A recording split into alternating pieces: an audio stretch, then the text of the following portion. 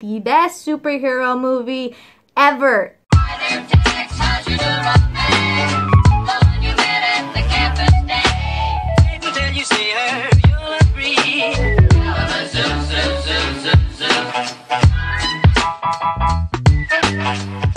Hey guys, and welcome back to another brand new video for you guys today.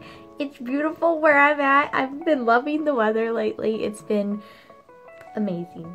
Anything, you know, above amazing. It's just been, it's been great. It's been nice to have, like, okay, I love rainy weather, but, um, it, you know, we had this nice, calm, rainy, stormy-ish day before I went into work, and then I come out and it's all sunny and everything like that, which is just, you know, it's fine. It's just, I kind of wanted a rainy day today. But anyway, it's still beautiful out and I love it. I got my window open, so if it sounds a little windy in here, that's why, because my window is right over there. Um, but anyway, guys, you guys know from the title that I will be ranking because it's getting closer and closer to Avengers Endgame. So I thought I would just do a ranking of all the Marvel movies, all 21, that's a lot, all 21 Marvel movies that have been made before Endgame that have come out and are part of are, that are part of the MCU. Um, I've never done this video before, so we'll see. And just a disclaimer here for you guys. My I know my list is not gonna be, you know, the majority, you know, kind of list where everyone is pretty much the same. It's gonna be a little bit of a variety here how I have these ranked. And if some of these that I know are probably in your top five that aren't in mine, it's not because I necessarily think it's a horrible movie. It's just for my personal taste, for my, you know, yeah, for my personal taste in movies and for Marvel movies, like that's why it's ranked little a little low because not necessarily because it's a bad movie, just because I'm like, ugh, like a lot of people. I like Guardians of the Galaxy too. I did. I actually quite enjoyed it. Um, but I'm not really into the Guardians of the Galaxy movies. So that's why, you know, I'm just, you know, explaining that for you guys so you guys don't get all, you know, anxious and like in the comments. Be respectful. You know, I'm sure I'm not going to get a whole lot of views on this, but, you know, we'll see where this takes us. Anyway, I just wanted to put that out here for you guys. And you probably know what's probably going to be on my bottom, but, you know, based on my other previous review. Um, anyway, let's get into this. So, for my number 21, I'm only putting this here because I have not, this is the only MCU movie that I have not seen. Um, and it's The Incredible Hulk. That's the only reason I put it on the on the bottom because I can't put it anywhere else because I have not seen it. So I guess you could just take that out of here and it's just 20, 20 movies that I'm ranking. But uh, yeah, that's why I'm just putting I'm sure it's probably a good movie. I don't know. I've never been really intrigued to watch it just because we have Mark Ruffalo as Hulk, not Ed Norton. So I'm like, eh. Do I really want to watch it? No, not really. so that's why I haven't watched it yet. Um, anyway, going into number 20, I put Captain Marvel for obvious reasons. Um, yeah, it now looking looking back before you lose your you lose your cool. Um, looking back on it, I probably okay. I did really really dislike that movie for the worst reasons ever. I thought it bombed really bad in my opinion. But it's not like this horrible horrible movie. It's not like I mean, it's stupid, but not the kind of stupid that like Aquaman was, where I just had a very bad taste in my mouth after that movie and nothing made sense. Um, but yeah, so it's it's I, I will give it that. It's not horrible. I don't want to give the impression like, man, this is like the worst movie ever. No, it's not. I just for a Marvel movie, I have better expectations, and it just completely didn't meet any expectations that I had going into that film. The cat and Phil Coulson were the best part. Um, but anyway, before I lose subscribers. I'm gonna go on to the next one. Um, number 19 is Iron Man 2. Now, Iron Man 2, I think is an okay film. Um, and you might be thinking, why you put that before Captain Marvel? Wow. I told you guys, I told you this isn't gonna be a normal ranking. If you want to see something that'll fit everyone's ranking, like everyone has the same ranking out there almost, um, then you can go to their their channel. I just, you know, I didn't think Iron Man 2 was that bad. But um, but there was that. That was okay. That was the first Marvel movie I ever saw. So I saw it when I was like 12 or 13, something like that. Maybe even 11. I think it was 12.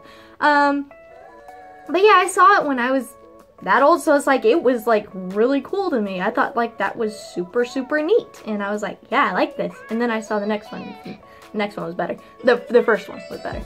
Um, but anyway, that's why I put it at number 19 because like compared to the rest of them, I'm just like yeah, whatever. Um, then the next one was Iron Man 3. I was very disappointed in Iron Man 3. Um, I hate retcons.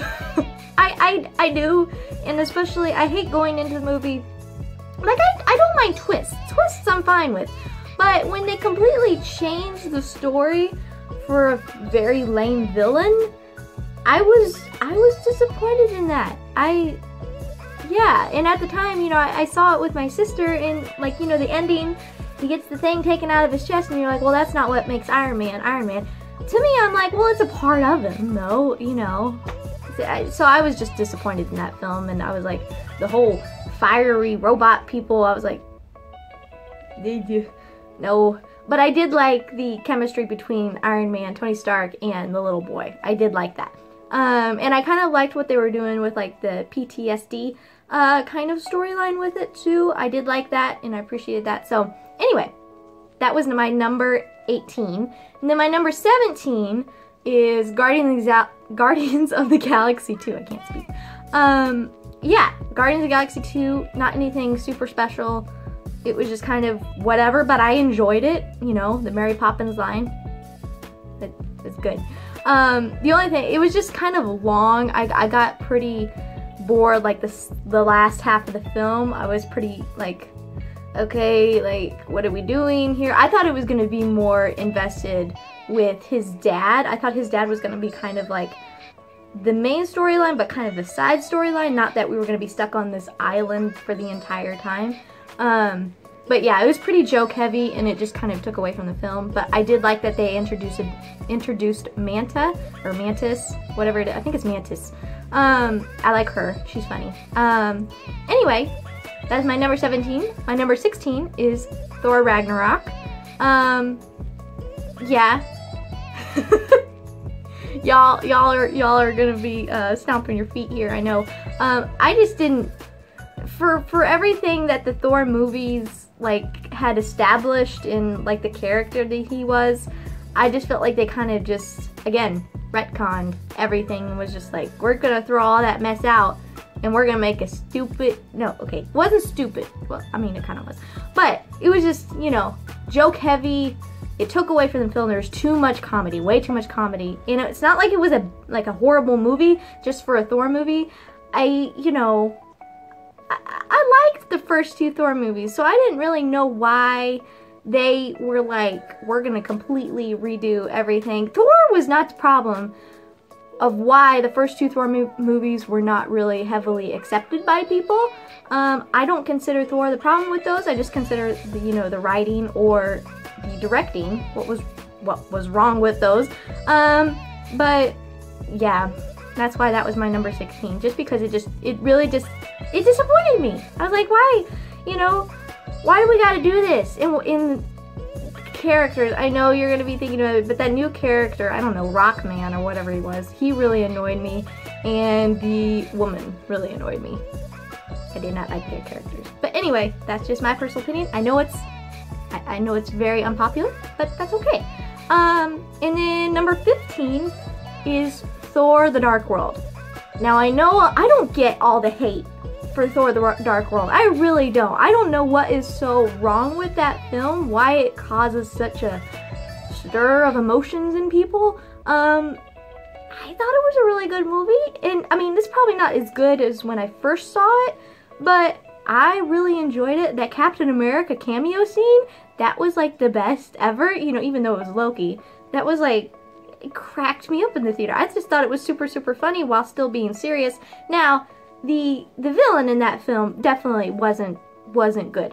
But I did like the story that they were telling. Um, but that's just my opinion. I thought it was a good movie, but that's why it's ranked a little bit lower on my, you know, on my scale. But uh, anyway, the next one is number 14, Guardians of the Galaxy, the first one. Now, the reason why this is ranked lower again is not just because, you know, like I hated this movie. It was just because it's personally not my kind of taste of the film. Like it's not like it's a horrible movie. I just personally don't really get into the story or I think when I I'm I'm weird, guys. I'm weird. When it comes to things in space, it's very easy for me to kind of lose interest just because I haven't really you know, there's not many space movies except Star Wars, that I really get into. And it, I like all the characters. I like Rocket, like Peter Quill. I even like Gamora, surprisingly. I mean, she's not my favorite, but I even, I, you know, I have a decent likeness for her. Um, but yeah, so it's not like it's a horrible movie. It's just not, it's not my thing, really. And then the next one is number 13, Ant-Man and the Wasp. Now, this movie, it really kind of disappointed with me because after it got over, it was over, I was kind of like, how I feel about that. Like, it was just kind of whatever. Um, I felt like I didn't like the villain because it was like this weird I, it felt like a filler episode almost you know how those filler episodes in like arrow or flash or something like that um, not necessarily bad but just kind of like eh, okay you know like not super intrigued but i did think it was really funny i just thought maybe it was a little too heavy with comedic relief um, that it kind of took away from the film and I personally, I'm not a huge fan of the Wasp. I liked her better in the first film than I did in this film, just because she seemed very, like, dominant in this film.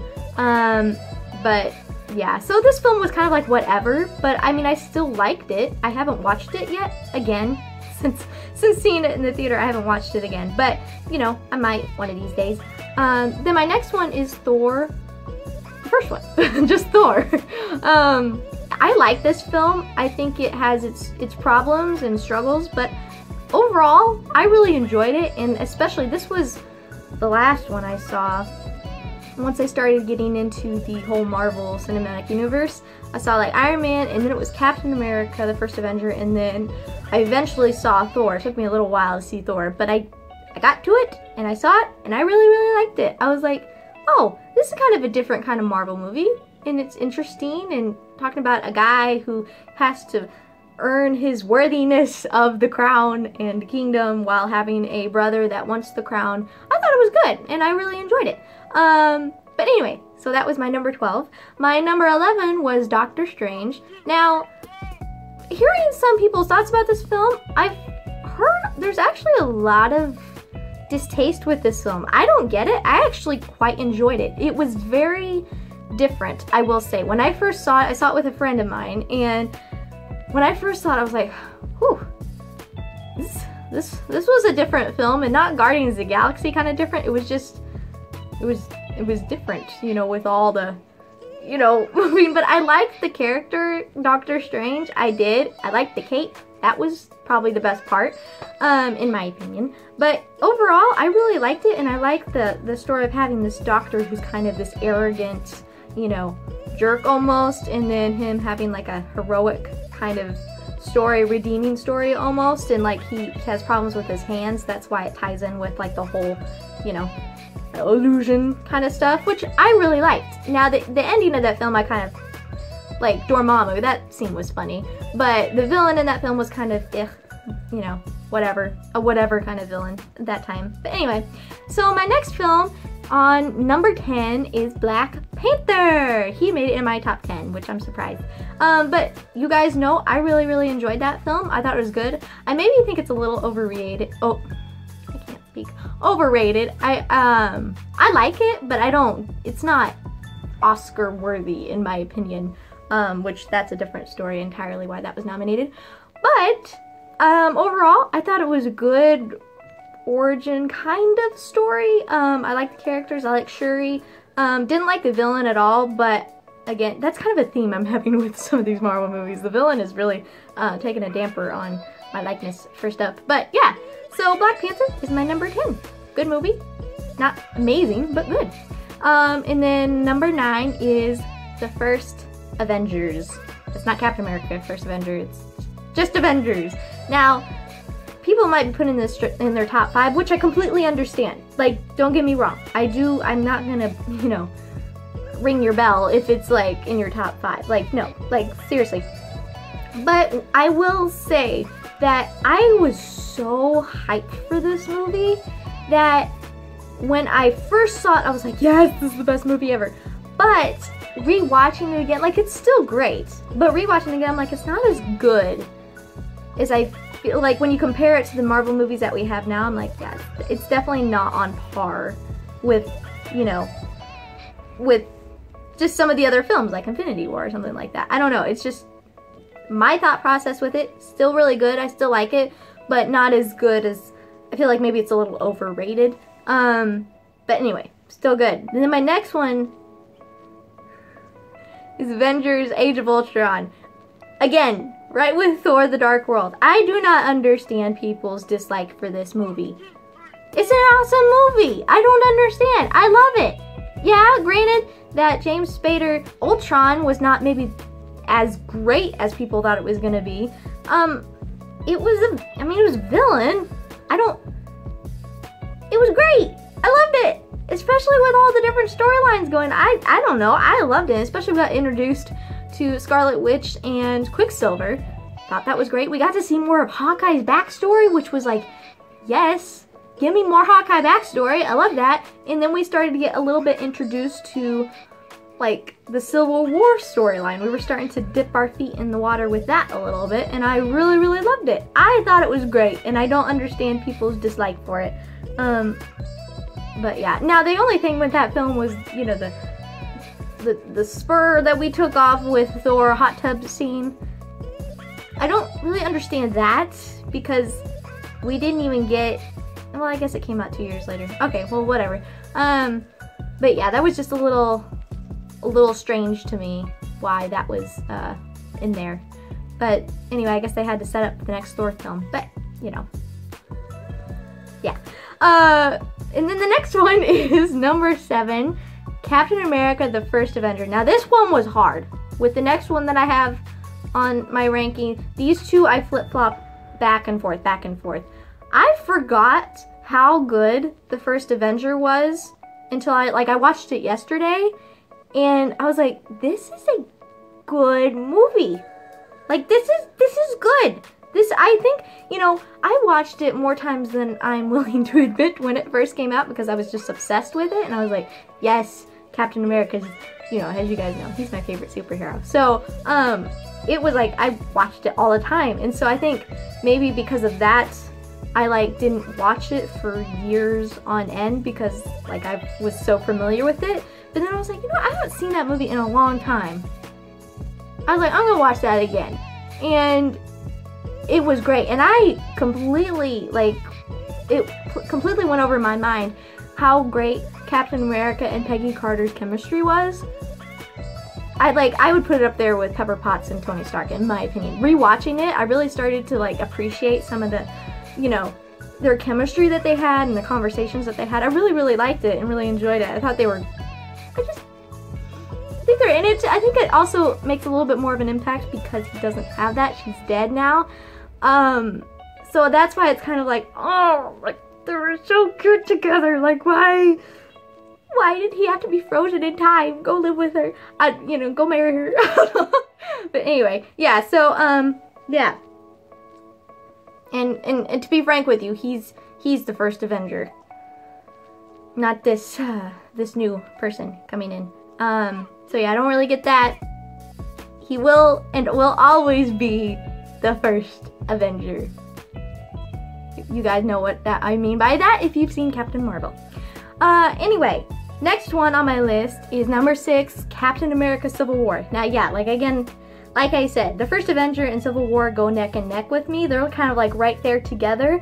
Um, now, when I first saw Civil War, I don't think I did a review on it. Um, I was a little disappointed just because the ending was so sad with just, you know, you don't like to see your buddies fight. You're just like, guys, come on. Snap out of it, reach an understanding together. Iron Man, I know that he killed your parents, but to me, it's not like you were, like, not that this takes away from it at all. That's not, okay. Anyway, that I that's not a good argument. But anyway, yeah. And then you, then you have like what, what's his name? Bucky. who didn't know what he was doing and uh, stuff like that. So it's just kind of like, it was just kind of sad. And there was a lot, I felt like it was just too many characters that they were trying to incorporate for it to be a standalone Captain America film. That was just my opinion. But, I mean, it was still good. I still really enjoy it. Um, it's just, it maybe left a little bit of a damper on me. That's why I just have a hard time watching it. Um, I have to watch it when I'm really, really happy. Otherwise, I just get more sad.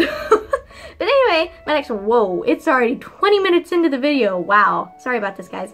Um, and then my next one is my number five, Ant-Man. Ant-Man's awesome. Love it. Yeah. The next one is number four, Iron Man, the first one. I love Iron Man. It's still so good. Love it. He's top, definitely top three favorite superheroes um, in the Marvel Universe. Definitely. Love Iron Man. Great movie. Love the origin story. The ending was maybe a little bit weak, but still, great movie. And it introduced us to everything that we have now, which is amazing. My next one, on number three, is Spider-Man Homecoming. I love this movie, especially seeing it like the second time. The first time I was like, oh, that was really good. And then I watched it again, I was like, yes, I, I love this movie. It's so different and it's refreshing having a storyline based on like a teenager uh, instead you know it can work. It definitely can work. And so I just I love the story that they were pushing with that film and especially the camaraderie between Spider-Man and Iron Man was really really great. I loved it. My number two is Avengers Infinity War for obvious reasons. Yes I love Infinity War. I've seen it oh, I don't know. I've seen it twice since it being on Netflix within the past couple of months, um, which might not be that much to some people, but to me, it is. I don't like watching movies too close in advance because, you know, you get tired after it a while and you want to have the same kind of emotions watching it or some, you know, surprises watching it again. But anyway, that was my number two. And my number one is Captain America the Winter Soldier because it is the best superhero movie ever. I'm sorry if you disagree. Like, you can disagree. Whoa, what's wrong with my hair? Um, I love that movie. I've loved it ever since I saw it, and it's Captain America. I might be a little biased, but that's my favorite film. And everything that they told in that story with, and the thing, what, what, what's so great is that Bucky Barnes' character, he said barely a word in that film but he was the most strongest character there besides Captain America. Like it was just so like chilling watching his performance and just how oh their fight scenes and everything like that, the fight choreography and especially the ending, oh made me cry when I first saw it. I was like yes. And then we see Peggy Carter again when she's older, which was kind of sad, but it's just it's so good. It's so good. It made me like Black Widow a little bit more um, than I used to. I, she's still not my favorite, but you know, we got her in the film and I thought that was good. So anyway, guys, that is my ranking. Please let me know what your ranking is down below. There is a lot of films and I'm like drenching in sweat right now because of rambling on for 23 minutes. So yeah, let me know what you thought down below. Please comment on this video. Please like and subscribe if you're new and I'll see you in the next video.